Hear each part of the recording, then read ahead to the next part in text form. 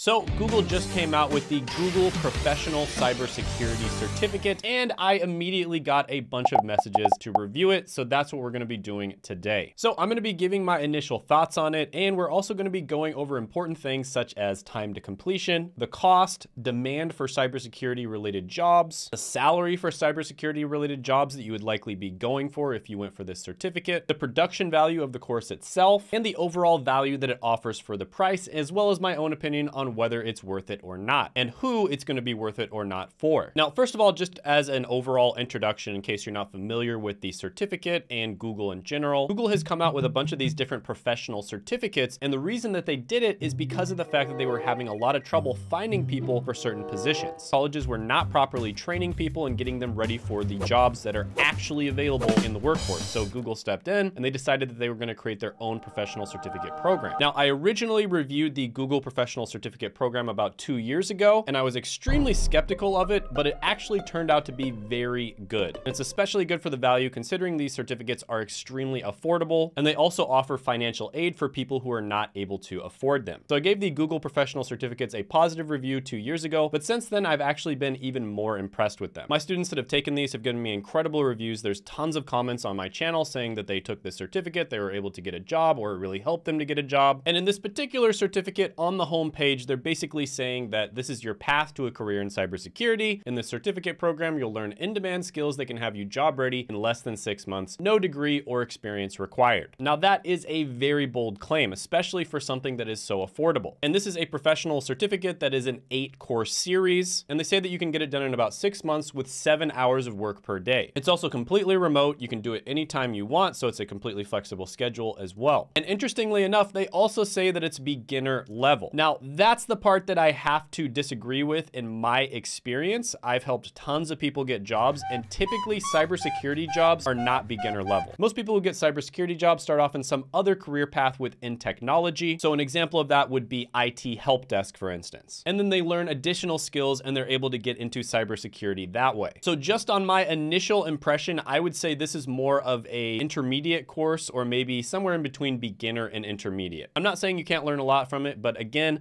just on my initial impression and my experience, typically you are gonna have to have some work experience in order to get into cybersecurity. Now, when it comes to what you learn here, they'll say that you're gonna be understanding the importance of cybersecurity practices and their impact on organizations. You're gonna be able to identify common risks, threats, and vulnerabilities, as well as techniques to mitigate them. You're also gonna be able to protect networks, devices, people, and data from unauthorized access and cyber attacks using security information and event management tools, or SIEM. And you're gonna be gaining hands-on experience with Python, Linux, and SQL. And the skills you're gonna gain here are going to be Linux, Python programming, SIEM tools, intrusive detection systems, and SQL. All right, so let's go ahead and start off with the time to completion. They say that you can get this done in about six months with seven hours of studying per day. Now, historically, these Google certificates will usually say that it's gonna take something like six months, when in reality, a lot of them take sometimes one to two months, and sometimes even less than that. So for instance, with the Google IT certificate, a lot of people have told me that they've been able to knock it out within a few weeks. Now, I do personally think that cybersecurity is gonna be a bit more extensive, and it probably is gonna take longer than something like the Google IT certificate. But with that being said, I wouldn't be surprised, especially if you dedicate a bit more time, if you'd be able to knock this one out in about two months. So based on feedback on various different subreddits that I've been reading, many people are saying that you can finish it within a month. So for instance, this person said that it's doable within a month too if you have lots of free time. But realistically speaking, you're probably a busy person and it's probably gonna take you a bit longer than that. So even if it does take you two to three months, that's still pretty good compared to other types of education such as boot camps or college degrees. A lot of the time boot camps will take six months or more and college degrees, of course, as everybody knows, take five years on average. In fact, bachelor's degrees take 5.1 years. So when it comes to the time to completion, this is very reasonable. Next, let's talk about the cost of the certificate. So the Google Professional Certificate Program is hosted on Coursera, and I'll put a link down below where you can actually get a seven day free trial if you want to sign up with them. But as of now, they charge about $49 per month for people from the US or Canada. Sometimes throughout the year, they may have deals on this. For instance, Coursera Plus can have some really good deals. And like I said, I'll put that down in the pinned comment as well as the description below so you can check it out to see how much it costs for you. Because in other parts of the world outside of the US and Canada, typically they are gonna have different pricing. And if you absolutely cannot afford it, they do offer financial Yeah, aid. So that's something you can check out as well. So let's say you took the full six months to finish this, that would be about $294. And if you're able to finish it in two months, that would be about $98. Now, when you compare this to college, which is $100,000, and if you look at the opportunity cost as well as the debt incurred and all of the extra interest that you have to pay on that, college actually costs $500,000 over a lifetime. Boot camps typically cost $10,000. Some of them cost up to 30,000, believe it or not. That's a lot of damage. So when you compare it to other forms of education, the $49 a month price tag is extremely reasonable. And yes, you can get educated for free. There's lots of great education on YouTube. There's companies like Khan Academy, for instance. And yes, you can get really good education online. You can look things up on Google. YouTube has a lot of great resources as well, but it's typically not going to be organized for you. It's also not going to be up-to-date information necessarily. There aren't going to be professionals there teaching you the information, and you're not going to get a respected certification at the end. So overall, the cost, in my opinion, is extremely reasonable. Next, let's talk about the demand and the jobs this certification is going to prepare you for. So some of the common job titles you might be going for here are going to be cybersecurity analyst, security analyst, security operations center analyst, information security analyst, IT security analyst, and cyber defense analyst. If you type in some of these jobs on LinkedIn, you sort by entry level, you are going to see there is a lot of demand. And basically anything that has to do with the security of data is going to be incredibly valuable and incredibly in demand right now. You've probably heard of all the company data breaches that have happened and how those companies have had to pay out billions dollars in fines. And yeah, most companies do not want that to happen. So they're hiring cybersecurity professionals left and right. So if you look up information security analyst on BLS, for instance, you're gonna see that it's growing at 35%, which is much faster than average. And these career paths are expanding outside of technology as well. For instance, law enforcement officers are now learning cybersecurity related skills as well. So overall, there is a ton of demand here. But with that being said, you do actually have to know those in-demand skills. Next, let's talk about salary. Now, like I said before, there's a bunch of different jobs that you can go for. I'll have them pop up on the screen again. And typically, in my experience, what you should do is you should choose one of these jobs, right? Choose one of the jobs, tailor your resume, tailor your portfolio to that job. That's gonna give you the best chance of success. But let's say you chose cybersecurity analyst, for instance. With that one, you'd make about $88,000 a year. Security operations center analysts make about 63,000. Information security analysts make about 90,000. IT security analysts make about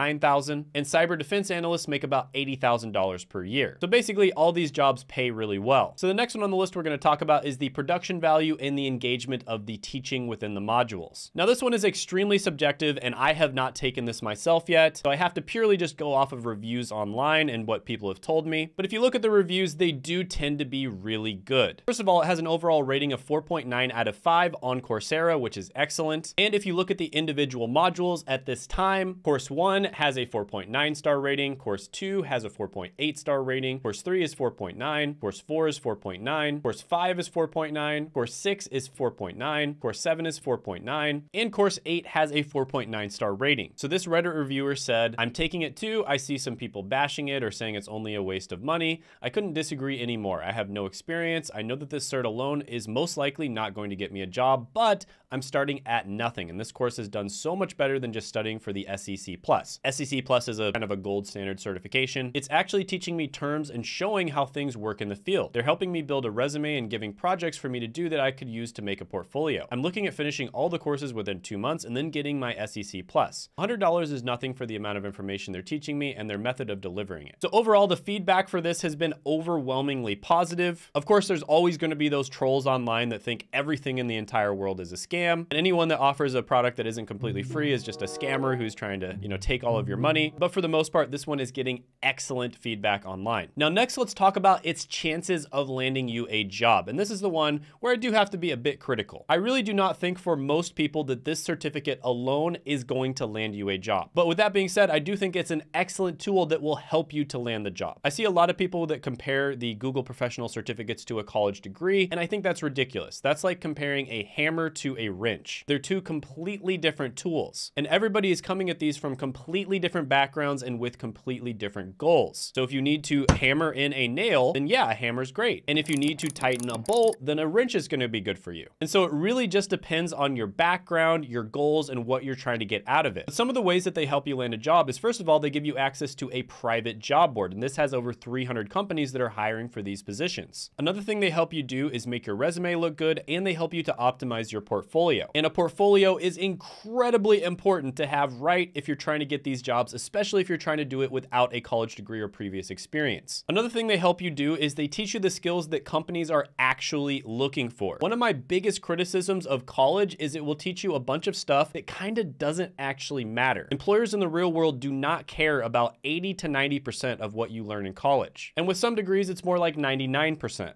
And additionally, and this is something that a lot of people don't know, I've heard this over and over again, you can actually list this certificate on your LinkedIn. You can say that you're in the process of taking it, and it's a great way for recruiters and hiring managers to find you. Remember, the job of a recruiter and a hiring manager is pretty difficult. They're trying to find talent, and the types of people who take these certificates a lot of the time end up being really good employees. And so they will actually look for people by searching these certificates on LinkedIn. And there are ways on LinkedIn of saying that you're in the process of taking the certificate and then of course, after you get done with it, you can say that you've completed it. And I've gotten a bunch of comments on YouTube and feedback from my students that this is a way that recruiters and hiring managers will actually find them. So definitely make sure that you do that. Overall, I do not think for most people out there, this certificate is going to land them the job. But I do think it's going to be a valuable tool that you can have in your toolbox that will help you to land the job. There's probably going to be a few people out there that are actually able to land a job with no experience, but that's going to be the exception to the rule. And it's also going to help prepare you for other certifications that will also help you to land the job, such as the CompTIA Security Plus exam. Now let's talk about the overall value that it offers. In terms of overall value for the price that you pay, which for Americans and Canadians is $49 a month, for people from other parts of the world, it's much less than that. It offers an absolutely mind-blowingly ridiculous amount of value. You get access to 300 companies with a private job board, you get help building your portfolio, you get a certificate from a respected company, you get relevant training and skills that are currently in demand, not skills that were in demand five or 10 years ago, skills that are in demand right now. And it can help you to get found on LinkedIn. All this for $49 a month and something that you can probably complete in two months. Now, another piece of value that a lot of people don't mention is the fact that with these certificates, especially if you sign up for Coursera Plus, you can actually kind of sample a bunch of different certificates to see which one you actually enjoy. So you might try the data analytics certificate, for instance, and then you find that Bruh. you don't really enjoy that. So then you go over to the IT certificate, you really enjoy that one, and then you find out that you want to specialize in cybersecurity, so you take this certificate as well. And that allows you to sample a bunch of different skills in potential careers that you might end up in without having to spend a bunch of money on college and then go into a career path just to find out that you don't like it. So I think that's actually the hidden things that's probably the number one value proposition of these Google career certificates. It's a low risk, high reward way of figuring out what you want to do because just about all of these certificates are going to be teaching you skills that are currently in demand. And so you can try out a bunch of different ones like the digital marketing or the IT or the cybersecurity certificate and figure out what you want to do with your life. So overall, is it worth it? Well, I have to give it two big thumbs up. But with that being said, it's going to depend on what your goals are, what your background is, etc. It's going to be different for everyone. But one of the best things about this, like I just said, is you're not risking all that much. And this is something you can do if you're currently working in a job, if you're going to college, if you're in high school, or if you're unemployed and you're looking for a job right now. These certificates are something that just about anybody from any background who has any goal can look into. So yeah, in my opinion, absolutely worth it. Definitely love these certificates. I love what Google and Coursera is doing. And like I said, you can check out the certificates, pin comment, as well as in the description below. I am an affiliate for Coursera. So if you use my link and you end up buying the product, I will get a small commission from that. You don't have to use my link. You can just look it up on Google if you want, not a problem. And one thing that I really like about Coursera is they've never hassled me at all on giving criticism to their certificates, not a single time. I've actually given a lot of criticisms to every single certificate that I've reviewed, and Coursera has never given me any trouble for that. So that's one of the reasons why I'm an affiliate for them. So yeah, check it out if you want to. Now, another question that I got is where would this lie on my Google certificate tier list, which is basically where I rank all of the Google certificates from S tier, which is the best,